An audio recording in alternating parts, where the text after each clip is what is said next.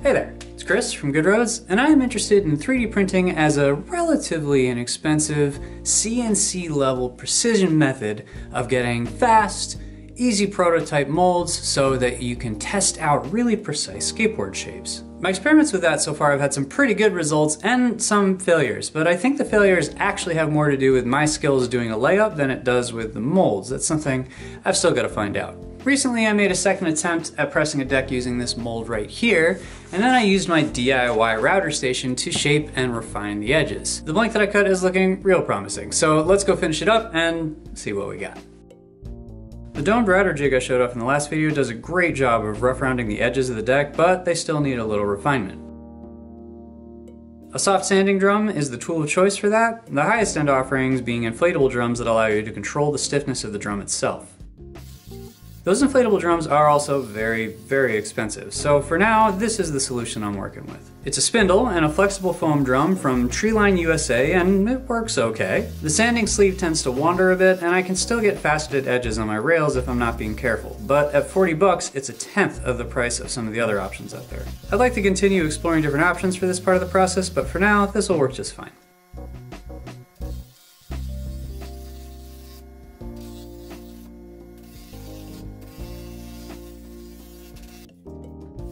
To smooth out the parts of the deck that I can't reach with the drum, I'm using an orbital sander with a 220 grit pad.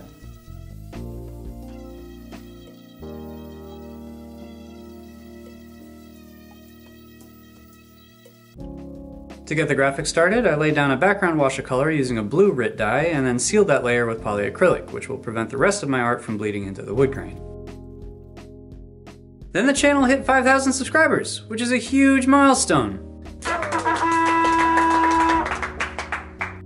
Celebrate, I did a live stream of putting some art onto this deck. I had a great time hanging out with y'all, talking shop, and adding to my collection of orange themed skateboards. Thank you all so much for the support and growth here on the channel, and cheers to the next 5,000. With the art done, all that was left was to coat the deck with some poly one more time and set it up.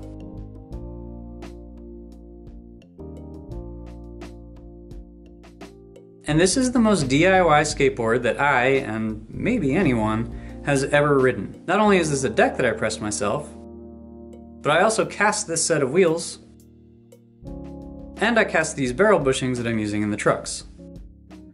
So it is really prototype test time. With the last version of this deck, I could start to feel the delamination issues after only a couple minutes of riding. This time around I got in some ollie practice,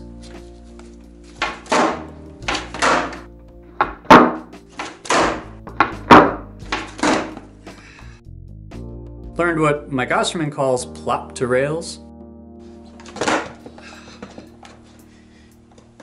Hey, I got it. Right on. Put in some solid work trying to learn Caspers.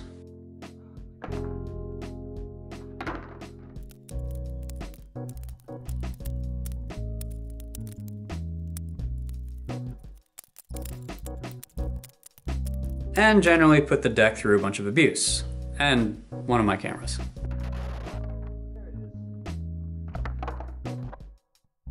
I had to pause the progression at that point to change gears and come and make this video for you guys, but I'm really happy with how it's going, and I am really happy with this deck. It's solid as a rock, it's got what feels like just the right amount of flex, it's got pop, it's holding up better than the grip tape and better than my shoes, and generally it's just a really fun ride. So there it is, proof positive that a 3D printed mold can get you a really good skateboard. When I started this project, I chose a freestyle deck shape because of the low kick angles and the shallow concave. That meant that the heights of the molds weren't as tall as a standard skateboard deck would be, and as I went to 3D print them, I would be using less plastic and material, which means that if this whole experiment was a bust, I wouldn't have wasted much. But now that I know that it works, I can confidently scale up to other mold geometries, and the next project I'm gonna tackle is a much more standard street skateboard deck.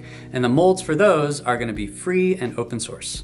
So, hit that subscribe button to stay tuned. The next video on the channel is gonna be a quick rundown on how to make a super cheap and easy skateboard press, because I need a new one. And then it's on to 3D printed open source skateboard molds. If you've got any questions or comments, or tips on how to freaking land Caspers, leave them down below. Huge shout out, as always, to my supporters over on Patreon. I could not do this kind of experimentation without your help. If you'd like to chip in, it really does help and it is so very appreciated. There'll be a link down below. Thanks, as always, for coming through. I love having you along for the ride, so until next time, see you soon.